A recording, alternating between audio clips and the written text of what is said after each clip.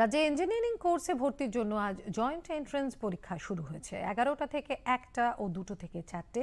এই দুই অর্ধে পরীক্ষা চলছে। এক লক্ষেরও বেশি পরীক্ষার্থী এই পরীক্ষায় বসেছেন। ভিন রাজ্যের পরীক্ষার্থীর তুলনায় এবছর জয়েন্টে রাজ্যের পরীক্ষার্থীর সংখ্যাই বেশি বলে জানিয়েছেন রাজ্য জয়েন্ট বোর্ডের চেয়ারম্যান মলয়েন্দু সাহা। মোট দুশো সাতাত্তরটি কেন্দ্রেই পরীক্ষা নেওয়া হচ্ছে। রাজ্যে বিভিন্ন জেলায় প্রচণ্ড গরমের কারণে ছাত্রছাত্রীরা যাতে সুস্থভাবে পরীক্ষা দিতে পারে, তার জন্য বিশেষ ব্যবস্থা নেওয়া হয়েছে। নিরবিচ্ছিন্ন বিদ্যুৎ সরবরাহের পাশাপাশি পানীয় জল ওআরএস এবং অসুস্থ পরীক্ষার্থীদের জন্য আইসোলেশন রুমেরও ব্যবস্থা রয়েছে।